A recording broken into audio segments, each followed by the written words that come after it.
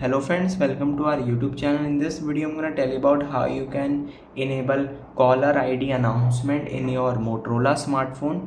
Before watching this video if you have not subscribed to our youtube channel then subscribe to it and like our video.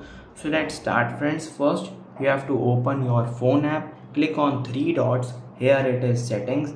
Click on caller id announcement and click on caller announce callers id if you want then click on always. It will whenever someone is calling you the caller id will be announced.